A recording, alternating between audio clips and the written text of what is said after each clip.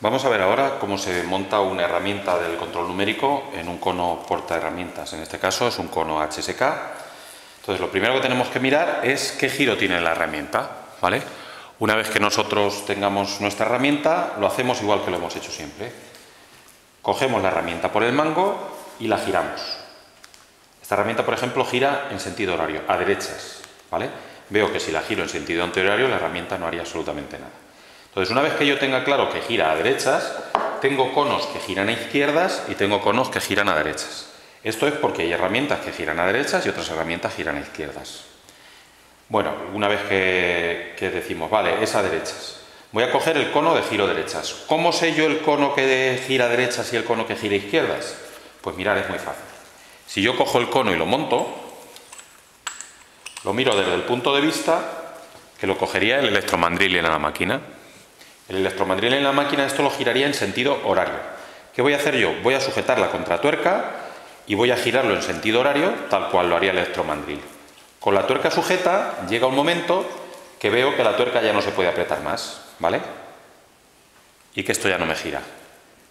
Eso significa que el cono, en este caso este cono HSK, gira a derechas.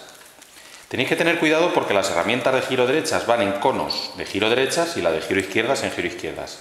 Jamás podéis poner una herramienta de este tipo, que es de giro derechas, en un cono de giro izquierdas, porque si hacéis eso, vais a ver que si nosotros hacemos la misma operación, cogiendo este cono y girando, en este caso, a derechas, conforme nosotros vamos girando, vais a ver que la herramienta llega un momento que esto se aflojaría totalmente. Si se afloja totalmente, la herramienta se cae y podemos liar un accidente bastante gordo.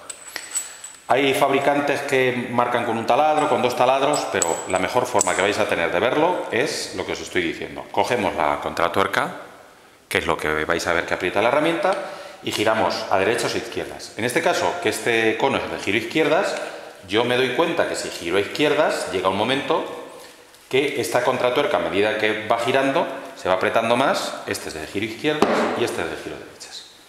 Vale, vamos a montarlo en nuestro cono de giro derechas. Tenemos una pinza R, que en este caso yo lo que hago es ver el diámetro de la, herramienta, el diámetro del mango de esta herramienta son 20 milímetros, y yo miro aquí para qué es esta pinza ER. Esta pinza me dice que es para herramientas que tengan diámetro 20, 19. O sea que esta puede venir aquí tranquilamente y luego la va a pinzar y la va a sujetar. Esta pinza la monto sobre la contra sobre la contratuerca, aprieto ligeramente y ahora aquí la meto más o menos lo que a mí me interesa. Yo os recomiendo que nunca metáis la herramienta a tope porque luego cuando la herramienta trabaja mucho y se dilata, si está a tope contra el cono, lo que va a hacer va a ser desplazarse un poquito, ¿vale? Entonces, la podéis desplazar ahí y una vez que yo la tengo, cojo con una herramienta ahí para apretar, con otra aquí y aprieto ya sé que a medida que el electromandril gire, la contratuerca va a hacer que esta herramienta se vaya apretando cada vez más.